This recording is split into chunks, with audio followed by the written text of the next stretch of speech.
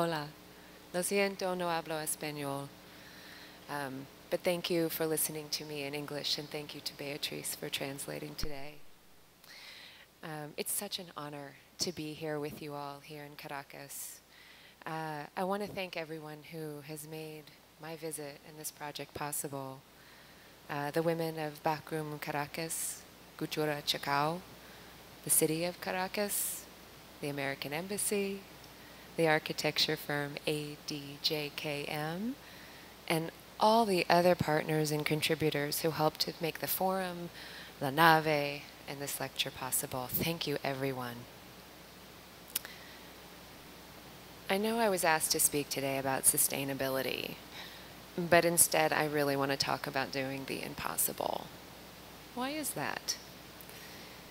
Because I believe that it's only when we aim for the impossible that we might expand the space of what's possible for ourselves and others.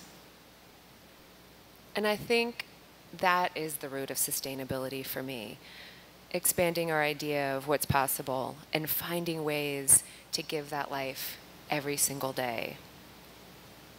But first, I want to tell you a little bit about myself. 15 years ago, I was working for a designer named Bruce Mau, who was famous for co authoring a book with architect Rem Koolhaas called Small, Medium, Large, Extra Large. One night when we were working late, he told me a story about meeting John Cage, the conceptual composer and artist from the 1960s, just before Cage died. The meeting was in Cage's loft in downtown Manhattan, on a busy street in Soho. Cage brought Bruce over to the window and pointed down at the bustling sidewalk below.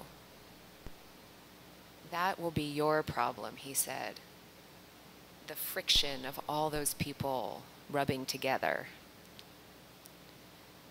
A few years later, I happened upon a lecture on the Ubuntu philosophy during a residency in the Netherlands. Ubuntu comes from a Nguni Bantu term that, when translated, means human kindness or humanity towards others.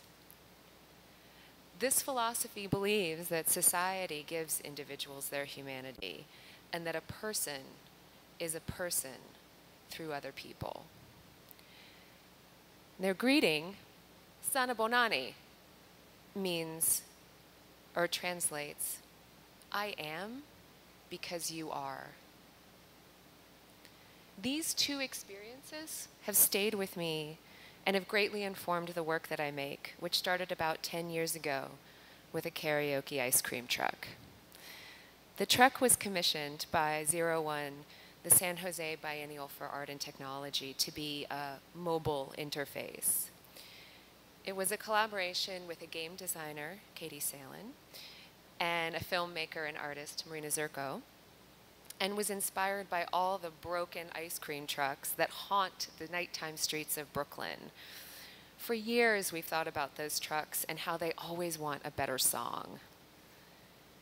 When we learned that San Jose is a trilingual city, English, Spanish, Vietnamese, we looked for a common thread amongst all those cultures. We found ice cream and songs. So the idea is rooted in exchange economies, so that the truck gives you an ice cream, but you give the truck a song. So you can see the ice cream truck arrives. It's driven by a squirrel. The squirrel starts giving out free ice cream for free.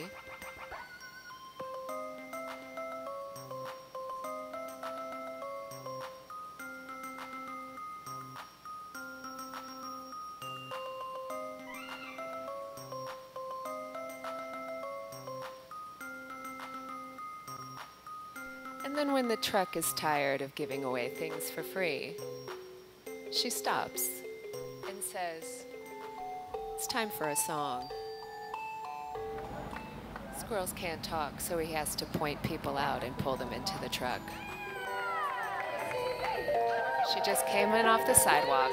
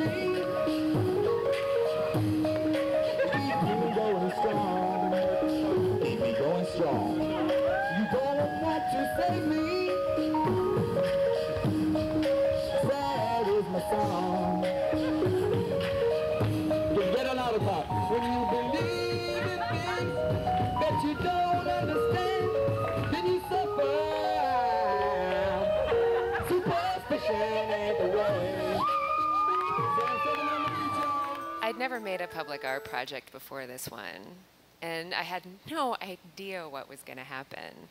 And as you could see, it was a little bit magical. Everyone forgot their troubles and gave themselves over to the joy of performing or watching performances. It was then that I real realized I had a really deep love for connecting with strangers in public spaces. And in the weeks following that project, I realized that we'd created something that game designers called a magic circle.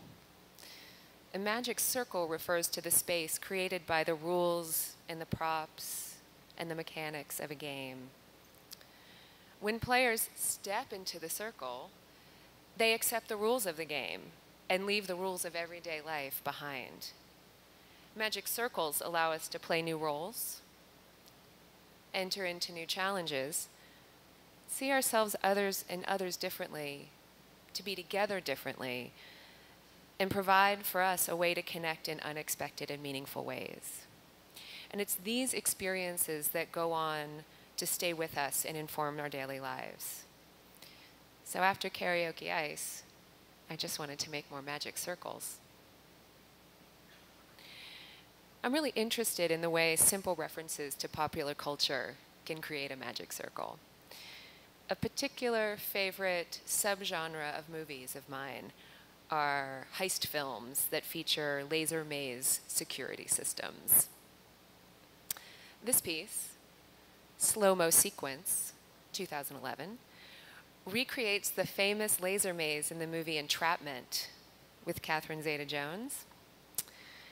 The installation simulates lasers with string, and it simply has a printout at the front door that says, warning, lasers are in use. Without any further instruction, everyone who entered became an action film hero. The Biennial Art and Technology in San Jose once again called and commissioned a piece about the future of the workplace. I thought about my own past experiences working in office and how dead they made me feel. At the time, I was also thinking about landscapes of persistence hunting and how to blend that with the office to make a different kind of working experience. So first, I built an office. I hired temporary office workers, and then we buried it. Over the course of the three weeks of the biennial, we had to remake our ideas of working in this workplace, which required knee guards, daily stretches, and we had to water our office every morning. The piece is called Creatures of Habitat. A couple of years ago, a friend and I were talking about how, about how IKEA was a nicer place to hang out than our apartments and how we couldn't afford studio space in Brooklyn. So we decided to go to the IKEA in Brooklyn to draw. And the IKEA Art Club was born. Instead of buying furniture or eating Swedish meatballs, we make art and we leave it behind in the showroom. Unpacking art supplies in one of the model apartments turns the store space into another kind of magic circle. I invite shoppers and artists uh, in Brooklyn to join me several times a year to come together and to produce art instead of consume things. Shown here on the left, Finn Lappin six years old, draws his dream house seated in one of the model kitchens. On the right, artists Robert Rancic and Marina Zurkow have created an installation in a model bedroom called White Mountain. So much of my work happens in public space because I deeply believe in the project of public space, a place where citizens of a community can come together, have space to gather, share, dance, or debate, to be with one another, for one another, and find a shared sense of belonging. I was invited to create a performance piece for a new plaza in Queens, New York. It was located in Jackson Heights, which is one of the most culturally diverse neighborhoods in the world. It's home to over 45 languages and different cultures. But it wasn't my neighborhood, so I felt like the foreigner there. Spent a lot of time watching what happens in this neighborhood to understand the neighborhood better. I also did some other research and found that it was originally designed in the 1930s to be a garden community, a place with more trees and more grass than Manhattan for middle class families to raise their children. Only in 2013, I couldn't find the grass or trees. So I decided to do what I saw so many other people doing in the plaza, carrying things. And I decided that I would bring the garden back to Queens. My idea was that by performing a recognizable activity, carrying things, but at a very absurd scale, uh, that would make a bridge between myself and those who lived there. It would give us a reason to connect, and it did. All day long, people asked me if I needed help, and we talked as we moved plants together. The, piece, the piece is called Getting There, and we'll watch just a few minutes of that.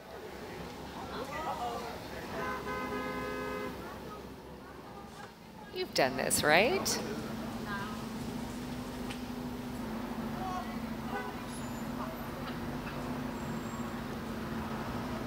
Oh, thank you so much. That's fantastic. Thank you.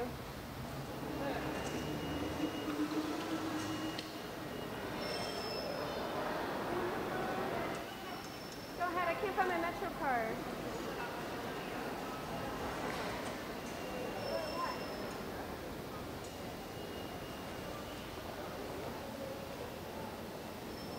Quite heavy.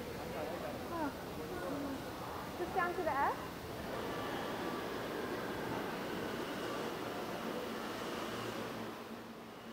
It weighed about 60 pounds.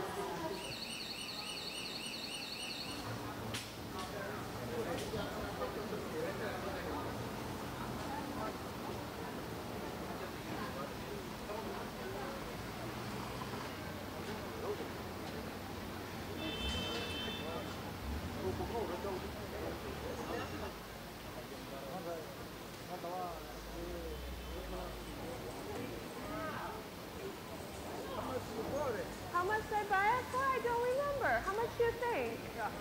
I don't know. It is a very big one. Oh, I'm sorry I don't have a free hand. You want to just tuck it, tuck it right in there? Tuck it right in there. Thank you. All right, I think that's enough. You guys get the idea. I had a pretty impossible idea. Um, and that idea actually came from a couple of other projects that I want to show you. Other projects that I think are impossible ideas because of their unexpected use of public space, the unexpected kinds of interactions they create, and the creative scale of time or space in which they operate. Many of these artworks start by identifying a surplus resource with which to make the work, or a simple framework that simply kind of recontextualizes what already exists. This is a project from 1982. It steals my heart every time I look at it. It's by artist Agnes Denes. She took a surplus, a surplus of land in New York City, and created an unimaginable image in downtown Manhattan.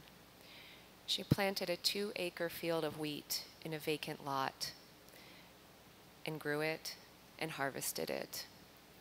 The piece is titled Wheat Field, a confrontation. The artwork yielded a thousand pounds of wheat in the middle of New York City. And for the artist was a comment on human values and misplaced priorities. Very different kind of public art project as by my friend Jason Polan. He identified another type of surplus space in New York City open to the public, fast food restaurant tables he knew that at Taco Bell in New York City, if he bought a drink, he could sit there for hours and do whatever he wanted. He turned that observation into the Taco Bell Drawing Club, which invites anyone interested to come and draw on Wednesday nights. The Drawing Club has been meeting for over 10 years and has inspired dozens of other drawing clubs around the United States maybe soon in Venezuela. I'm sure most of you are familiar with the idea of the key to the city. It's where foreign dignitaries and celebrities are given symbolic keys to the city as a gesture of welcome. Here on the left, US President Bill Clinton was showing the key to the city. It was given to them, given to him by the mayor of Buenos Aires at the time. There's a project in New York City called Key to the City by Paul Ramirez Jonas, which is probably my favorite public art project ever. His project inverted the power connotations of that symbol. Anyone could have a key to the city. Anyone could give anyone else a key to the city. And it turned everyone into a, into a celebrity in the city's eyes and turned dozens of locations around all five boroughs into places that should merit a celebrity's visit. Paul Ramirez Jonas created a system that simply coordinated dozens of locations and organizations and reframed them as heroic and important. They all followed the simple request to install a lock that matched the key to unlock something meaningful at the location. From a light switch in a lamppost to a locker in a boxing gym, to a gazebo on Staten Island. It's a project that literally unlocked the city for all of its people in a stunning new way, myself included. And the last one I'll show you is a project that started in 2008 in San Francisco. An architecture firm by the name of Rebar identified a ubiquitous type of public space and shifted its use with a very clever name called Parking Day. They took a parking space and changed it from a noun to a verb, from a place to, from a place to park to a place to make a park. They created an open system or framework for public intervention and, and have invited people from all over the world to participate. You simply have to put money in the meter for the day and occupy the space with a park.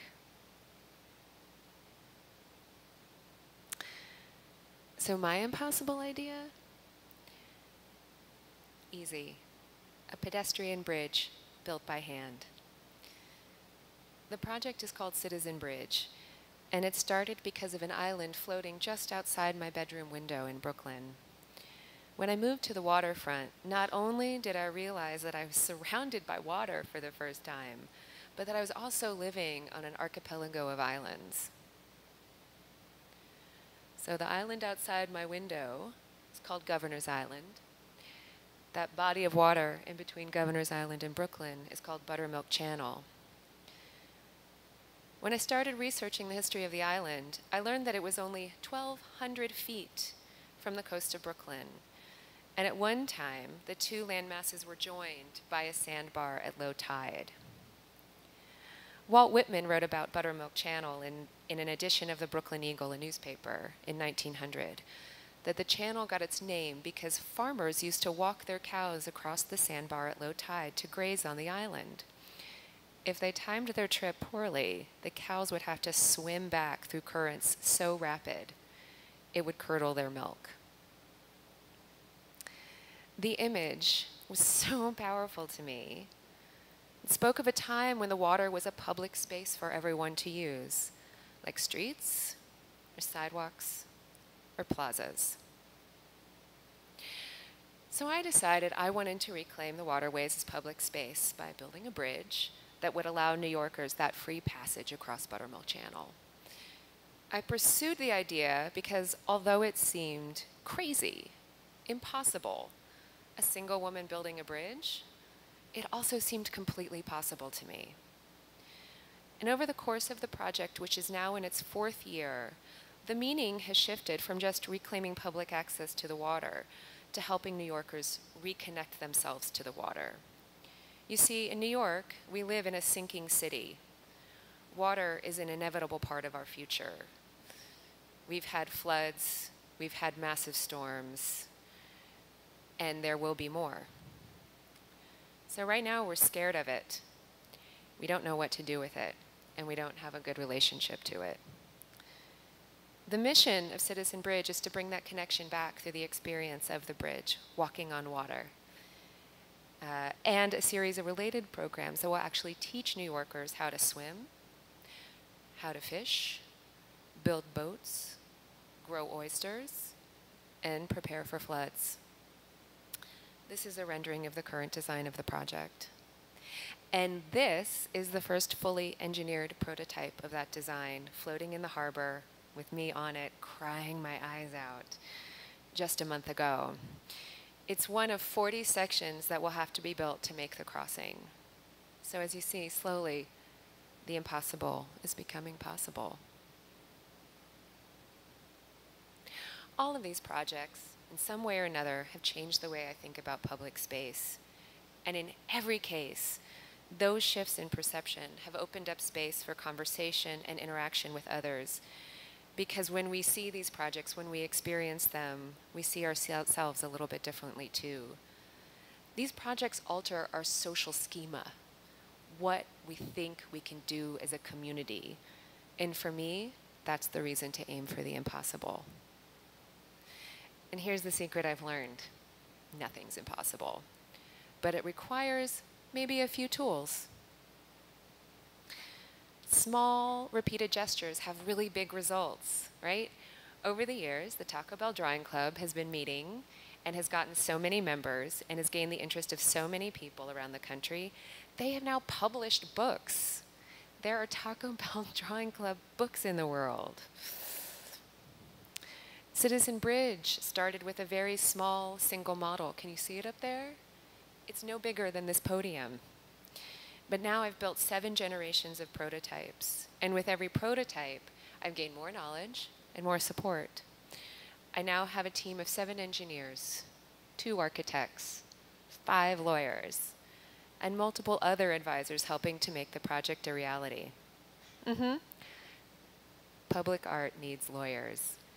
Um, so yeah, so mobility allows for wider distribution, right? Because parking spaces are a feature in most cities around the world. Parking day can happen everywhere. These are photos from, sing from single day parks all over the world. It happens every September, um, and the website just invites everyone to participate. What's so interesting to me, though, is that Parking Day has also changed the way cities think about their resources, and it's created an entirely new form of urban planning called the pocket park, right? Where tiny, tiny pieces of land are getting turned into small public spaces. When permanence is ignored, the need to be permanent, the ephemeral creates a liminal space between fantasy and reality. Uh, did that really happen? That leaves traces behind. Working temporarily allows for multiple realities to overlay on top of one another.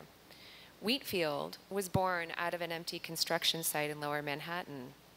Once the wheat was harvested, it returned to a fallow lot for a while, and eventually, years later, a park was built on the site.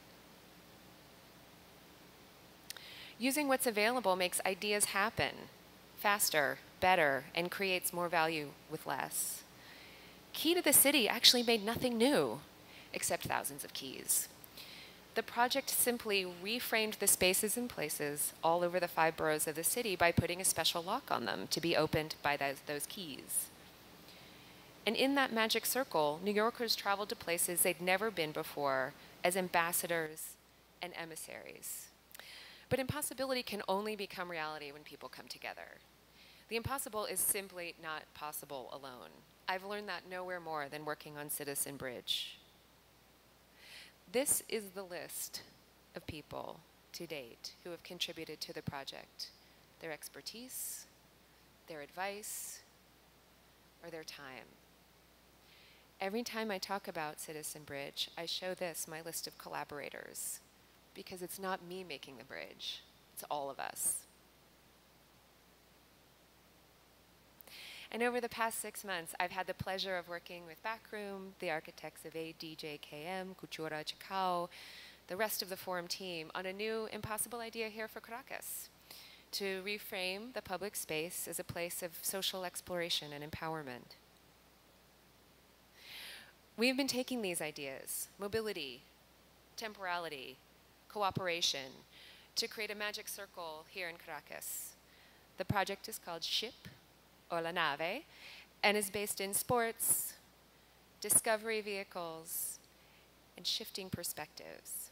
This is some of the projects, and we, projects we've looked at and some of the sketches we've made. The idea started when in trying to understand Caracas and understand the circumstances of the public spaces, um, I learned that participation in group sports had really decreased due to the crisis. I was so saddened to read that because sports have always been my way out of emotional stress. They've also been a place of true community for me beyond social or economic barriers. I also really treasure sports because they offer everyone the possibility to take part in the game, whether that be a player, a referee, or a spectator. So we're using baseball, a sport shared both by Venezuela and America, as a form of social exploration, traveling through the city streets and public spaces and remaking them as temporary baseball stadiums, inviting everyone to play. We intend SHIP to be an instrument of a counter, conversation, and speculation. We hope that it will inspire imagination and shift perspective of so future social possibilities in public space through our collective, collective acts of play. What will it look like, you wonder? What will it be like? You'll have to come out and see on Saturday.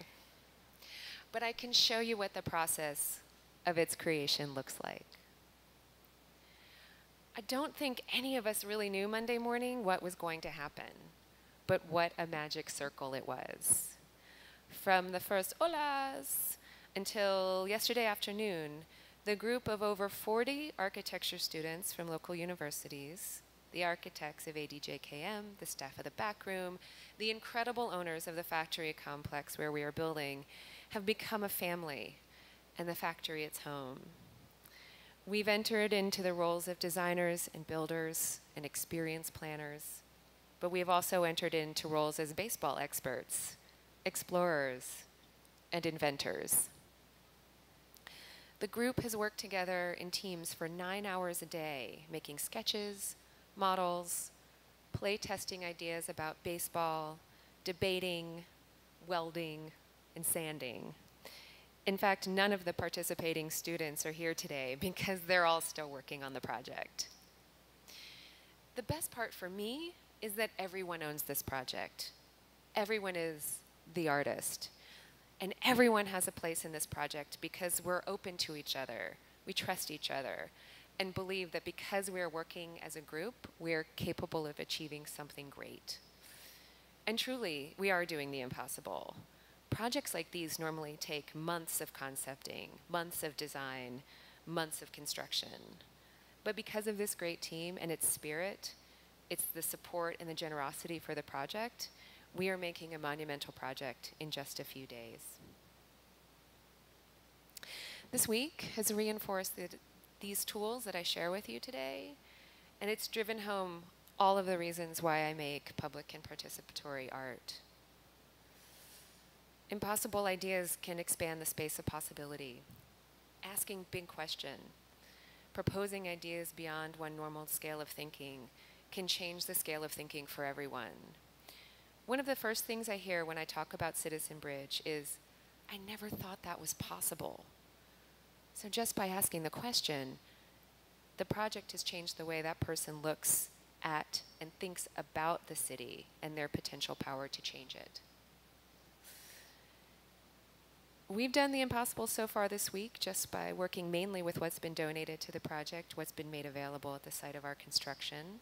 We haven't purchased very much to produce the project and are doing more with less.